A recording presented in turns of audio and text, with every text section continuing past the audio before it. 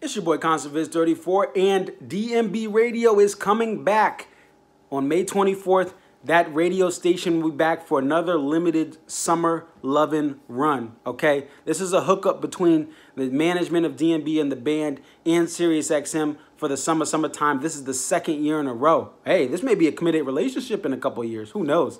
But we're gonna talk about that today. But I'm excited. It's coming back again May 24th to September 18th.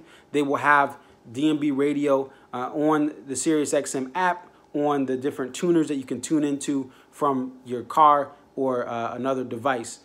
Now, here is what we're going to get so far that we've been promised. We're going to get Friday night streams of, of shows. So if a show is on a Friday night, uh, I'm assuming we're going to get every Friday night show that the band plays. Now, they're not playing this Friday, but um, I'm sure for every Friday show in the tour until September 15th, we're going to get it.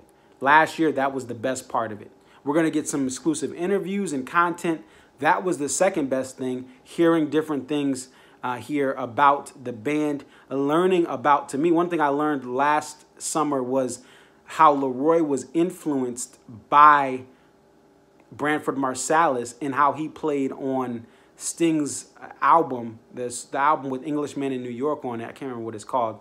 But I love Sting, and I thought it was cool how Roy was influenced by Branford Marsalis. And of course, you know, your boy saw Branford first time in the pit 2015 in Hartford.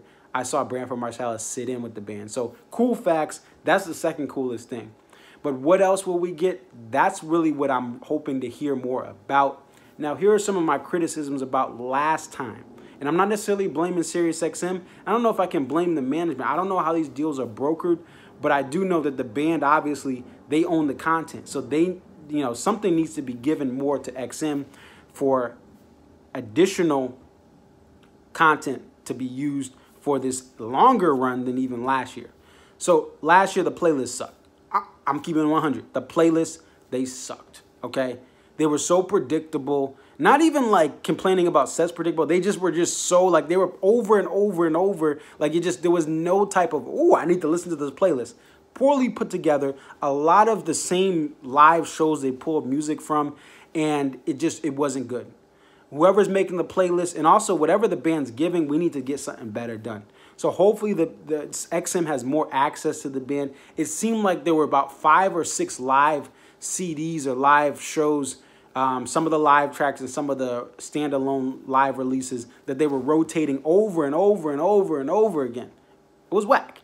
I can make a better playlist on Apple Music or Spotify. Matter of fact, most of the time I'm going for my own stash of purchase music, Spotify or Apple Music. I have subscriptions to all those in different ways. And I, I don't subscribe to my own collection. I actually paid for it. So, you know, that's that. So I have my own collection, XM, and now, and then along with Apple Music and Spotify. But most of the stuff outside of the Friday nights, I'm sorry guys, unless I see something otherwise, I'm sticking to my the stuff I usually listen to. Still supporting XM, but still listening to old stuff. They got to step it up. I don't know how you do it. I'm not in the room for this stuff, but I hope that DMB management is giving more. Hey, if you give, you begin to live. DMB management, we've been paying more money, okay? We pay 150. It used to be 75 for the pit. 75, 80 for the pit plus fees. Now it's 150 plus more or platinum tickets. The fan is paying more for the live show. Management needs to give more to these radio runs, okay? Give us some exclusive content. Bust out the DMB uh, Live 25 music and let it be played for XM. I own that, but hey, let some of the fans who don't have that access to that, that disc uh, or vinyl hear that stuff while they're listening to the radio, going to the beach, or going to grandma's house uh, for that long drive over the river and, and through the hill and in the uh, however it, that song goes. So hopefully we get more content from the live catalog.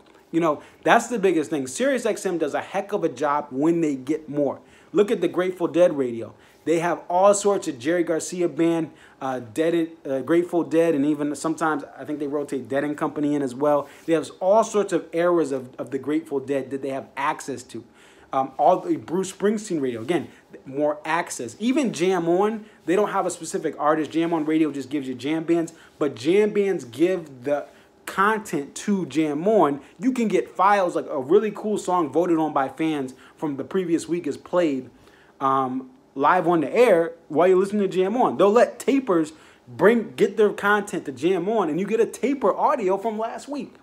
Hopefully, DMB gives that type of access or just close to that type of access.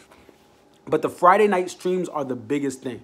Okay, I love how raw and uncut those recordings are. Okay, the best thing about DMB music is we've learned from some of the, the YouTube streams and the, the live Friday streams, they're great with no makeup on, rolling out of bed. Not every band is like that, but the mix that you hear on the YouTube live streams and on the SiriusXM streams, and even the recording we got uh, from Seville Night One, which wasn't as modified as the live tracks. You could it feels more raw of a sound, of raw of an audio mix uh, from directly from the soundboard. It's better that way. DMB is better that way.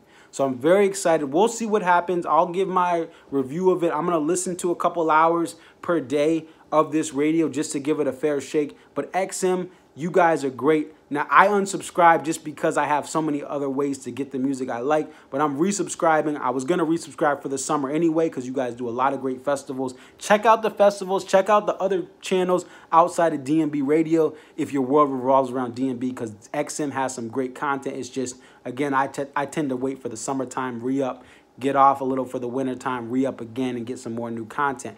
So I'm excited. Thank you for everyone. Thank you for DMB management and DMB. Thank you for SiriusXM who listened to the feedback. And I know a lot of it's out of the hands. Don't blame SiriusXM. If this is not a full run channel, if this is still a hookup every summer, don't blame XM because the management side of things, DMB themselves are the ones that allow for this. They're the ones that pulled it last time. They made it limited run. The away from the world at time in 2012ish, they made it a limited run. The management controls this, not XM. So don't complain. You know, send your feedback to XM, but you need to put pressure on management if you want this to be full time, if you want things to be better. We're talking to you, management. If you give, you begin to live. We pay more for all these shows. All right, we pay a lot of way too much money for these shows, but we love the band. But y'all need to give us more too with this DMB radio thing. And I appreciate you giving us these live streams, but still, come on, bring it, bring it. We're ready. We're paying customers who are willing to subscribe. Bunch of people just resubscribed today by the comments on different forums.